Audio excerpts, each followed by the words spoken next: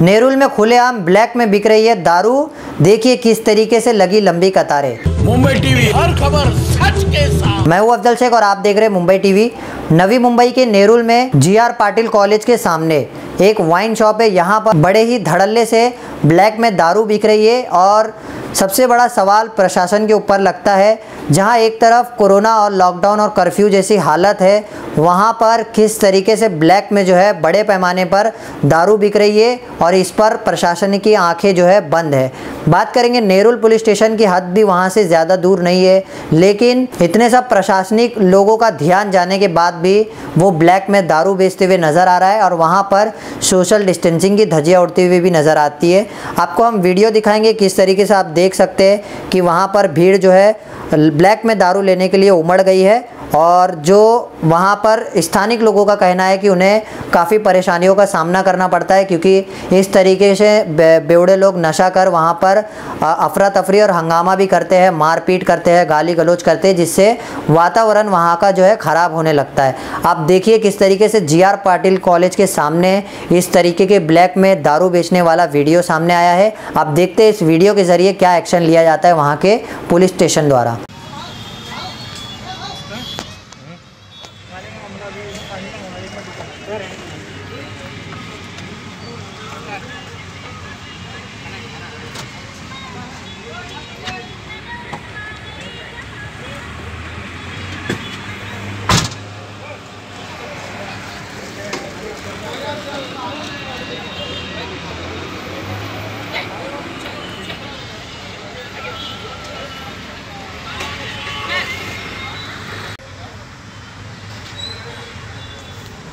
तेरे को वो भी नहीं आ रहा हमेशा आ रही हूँ।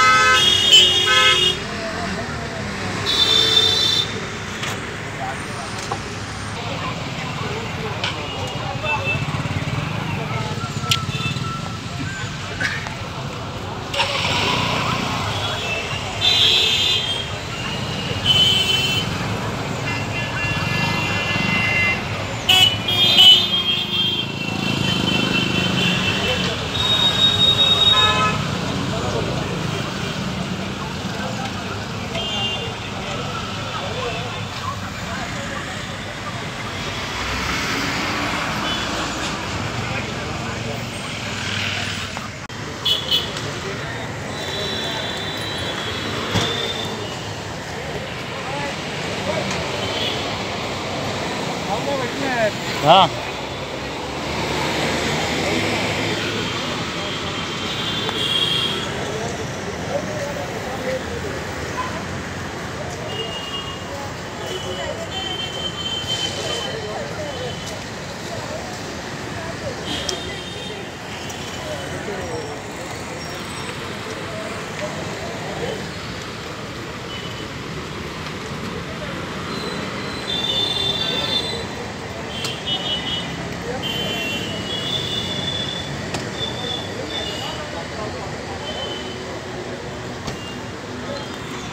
ऐसी तमाम खबरों से जुड़े रहने के लिए सब्सक्राइब करें मुंबई टीवी। मैं अफजल शेख फिर हाजिर हूँ एक नई न्यूज़ के साथ।